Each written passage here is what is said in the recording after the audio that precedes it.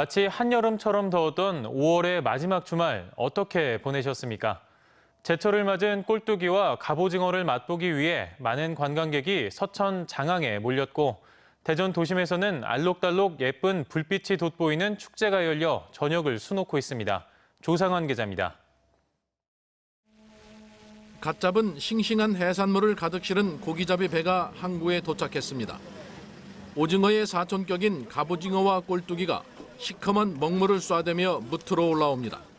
살아있는 갑오징어가 산더미처럼 쌓여있는 진귀한 풍경에 아이들은 물론 어른까지 눈을 떼지 못합니다. 축제 있다고 해가지고 아이들이랑 이렇게 같이 나왔는데 뭐, 이- 뭐 갑오징어도 있고 뭐 꼴뚜기도 있고 뭐 이것저것 많이 볼 수 있어서 뭐 아이들한테도 좋은 경험이 되었던 것 같아요. 눈으로 새로운 경험을 했다면 이번엔 입이 호강할 차례입니다.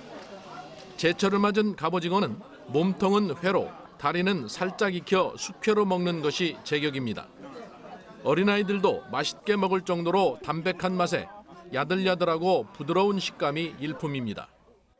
아, 멋있는 바닷가 풍경에서 이렇게 맛있는 갑오징어 먹고 가족들하고 좋은 시간 보내서 너무 행복합니다.